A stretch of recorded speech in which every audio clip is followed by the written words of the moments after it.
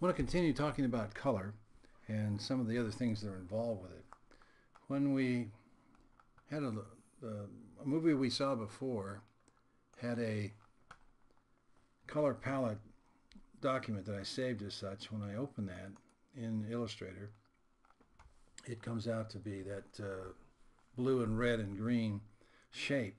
And remember that when I go into swatches, the colors that I saved are right here. So every time I open it, it is um, those colors return when I'm opening that same document or use that document as a base for information I've saved.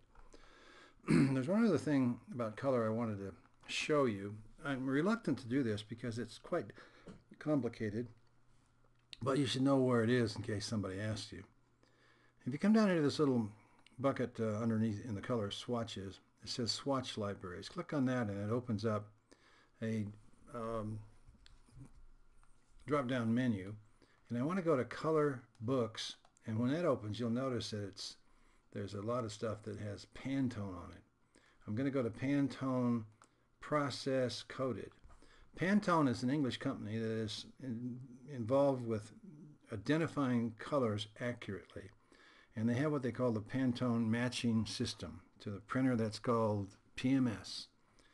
Pantone matching system is guaranteed to get you the right recipe, two jiggers of this, one jigger of that, and four jiggers of this, and you'll get the same color ink anywhere in the world.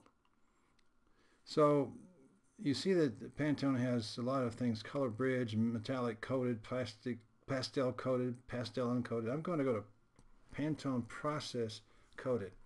Process colors are ones that uh, end up in a CMYK press. Coated means coated stock, white, shiny paper. Uncoated is white, unshiny paper. But when I go there, you notice it opens up and it's just a plethora of colors. Notice that the slide bar here goes down a long ways, and so this one box, you could see thousands of colors. And it's uh, the PMS colors, you can see this color right here is Pantone DS89-4C, C for coated. If it was uncoated, it'd be U. And this color over here is uh, Pantone uh, DS57-1C. Now, if you have a client that needs to have a particular color and they've identified it as a PMS color, then you can go here and find it. But you're going to have to have a really strong computer that won't bog down this much information right now is making my computer uh, breathless. And so I'm showing you where that is so that you know where to go look for it if you need to, but don't go there to pick colors. You will have your computer just wheezing trying to keep up with all this stuff because there's so much there. So I'm going to turn it off now and go back to some things that aren't quite so taxing. I have these two colors here, and I, or three colors, and I'm going to move them a little bit out of the way. I'm going to make a um, uh, I select that color, see, and it that blue color, and it comes into my fill. I'm going to make uh, a little square up here. Remember how we did that in the quilt project? There's one square. I want nine different color shades here. So there's one option key, shift key. There's two blues, and then command D, three, four, five, six, seven, eight, nine. I want the ninth one to be this color red here. I want the I want to make a color blending from blue to red and that's selected so I take this uh, eyedropper tool and if I click in the red it makes this color appear in that selected shape. If I wanted green pick in the green that color there would select would go into that selected shape. I'm going to stay with the red. I want to see nine colors that get me from blue color change color change color change to red. So what I'm going to do then is uh, select all nine of these all of them blue except for the last one. Then I'm going to go to Edit and down to uh, Edit Colors and then I'm going to blend horizontally.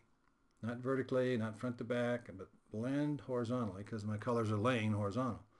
When I do that, you see, voila, blue, not so blue, purple, purple, not so purple, reddish, reddish, more reddish to red.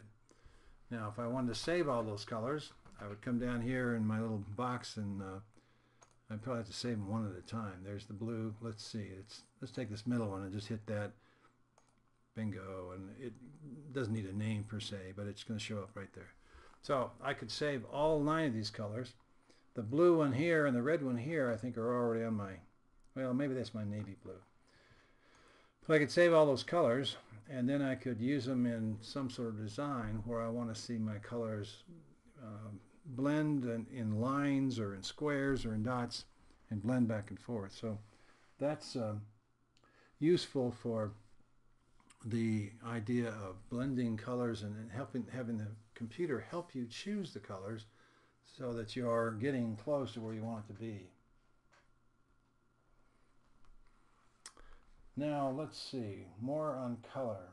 Uh, coming up in coming situations, but I want you to see that um, don't be afraid of color. Don't be afraid to make color choices or using the, the color um, um, sliders here to get the, the color you want for a particular job that you're going to do.